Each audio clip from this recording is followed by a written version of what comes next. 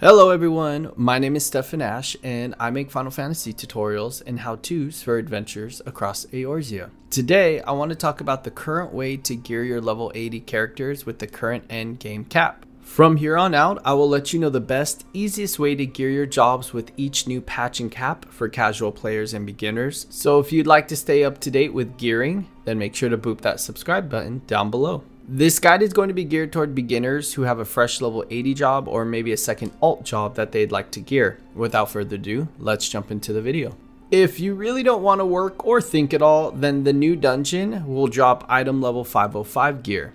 Just keep running this until you get all your pieces. This is truly for the casual player. This next way can also be farmed, which are the Eden Promise raids, which will drop turn-ins, which then can be used to purchase item level 510 gear better options out there, but just mentioning these so you can start learning different methods of gaining gear. The more familiar ones is item level 510 gear, which is the Exarch gear. There's no need to really shoot for this gear though, as we have augmented item level 520 Exarch gear, which is the exact same thing, just better. You can get the item level 510 by either crafting or purchasing from the market board, which we'll come back to a little later. Now that we covered some past gear, what you really should be shooting for is the new item level 520 augmented Exarch gear. You will need to obtain item level 510 Exarch gear and some allegory tomestones. Again, you can obtain Exarch gear one of two ways. You can craft it with the appropriate crafter to make a piece of Exarch gear, or you can just simply buy it from the market board. I want to make a special note here for the players who might have one or two crafters fully maxed out. You can simply just keep crafting the same Exarch gear to turn in high quality if you can manage over and over in order to get the certificates you need. You don't need all crafters maxed out, just one. But of course, it will make your life considerably easier if you do have more than one maxed out. Normal quality Exarch gear will give you less tokens than high quality, but just find the cheapest of either in order to get to the next step. Once you have obtained a piece of Exarch gear, you can turn those in to the Eulmore Vendor Gear Exchange. You will get Eulmore Certificates of Grandeur. The next step will be to farm Allegory Tomestones. You might just have a buildup of Allegory Tomestones from just playing. You can also obtain these by doing your duty roulettes with your level 80 job. If you do every single roulette in one day, this will net you about 700 to 900 Allegory Tomestones. You can also get Allegory Tomestones by doing hunts, level 80 raids, trials, and treasure hunts. Once you have 100, hopefully more, you'll then return to the Eulmore vendor and click on Rain Exchange. You will need a hundred to get one and it will take about two to seven crystalline rains, which is the turn-in, per piece. Luckily though, you can keep farming the Allegory Tomestones as long as you keep spending them before you hit the 2000 cap. Not only is this where you buy your armor and your accessories, you can also get a 520 augmented Exarch weapon from here as well. This is the way that I'm leveling my alt jobs in order to make them playable for the new content while focusing on this next way I'm about to go over for my main job. This next way is a little bit more time gated, which means you should start now or should have already started. This method is to receive augmented Crypt Lurkers gear.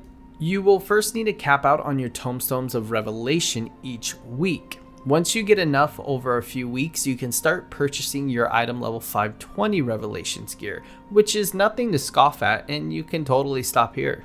The reason this is slightly better than getting the item level 520 gear from the Exarch as of right now, the Revelations gear or Crypt Lurkers gear, you can augment up to item level 530, which is the highest level in the game right now.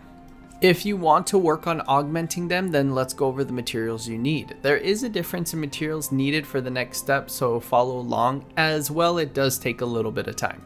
A really cool note is you're able to actually augment your gear as a casual player. In order to augment your weapon to 530, you will need to do endgame content. Since this is a guide geared towards beginners, I will only talk about obtaining the gear and accessories and obtaining a base item level 520 Crypt Lurker's weapon. In order to augment your Crypt Lurker's gear, you will need Crypt Twine or Dusting. You can receive this two different ways. One, by turning in three different tokens. These three tokens are obtained by all three NieR Automata raids Copied Factory, Puppets Bunker, and the new Tower raid. The token from the last raid is time gated, which means you can only get one a week. Once you have all three tokens, you can turn those in for Crypt Twine Dusting. With this in hand, you can go to the vendor and turn in your Twine and Crypt Lurkers gear in order to get your item level 530 augmented Crypt Lurkers gear. This does take a little bit of time as each of the raids might have a timer to get in so you won't instantly queue as well as just kind of long raids. So this is why you want to start as early as possible. The second way to get the crypt twine or dusting is doing hunts for a sack of nuts.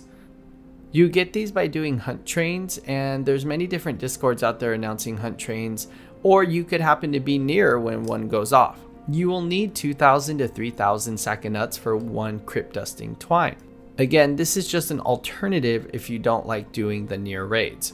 I myself don't really focus on hunts, but I do know a lot of players who love doing this. Just pick your poison, I guess. The last way of obtaining item level 520 gear is a new NieR raid, which is the Tower of Paradigm Breach. The gear here is gated as well with only being able to pick up 1 to 3 a week. Not my first choice, but an option for you.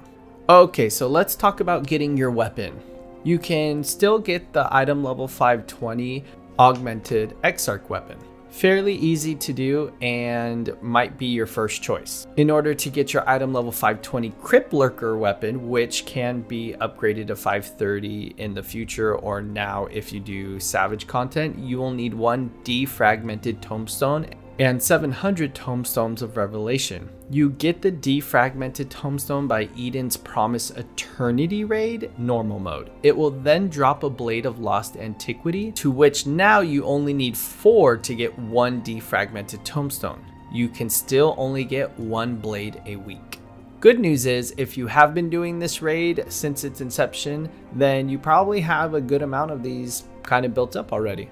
Honorable mention is the new diamond raid that will give you an item level 525. So if you can jump into the extreme version and you get the drop for your main character or main job, then great job. Let me just take a moment to welcome those new players to the endgame grind of Final Fantasy XIV. This is really the best part, also not including literally the million other things that you can be working on as well. I want to thank you guys for watching to the end. If you like these videos, leave a comment down below of what else you'd like me to cover. I'd like to thank this user for his comments and for recommending me to create this video. I hope you guys all have a great week and I'll see you all in my next video. Bye.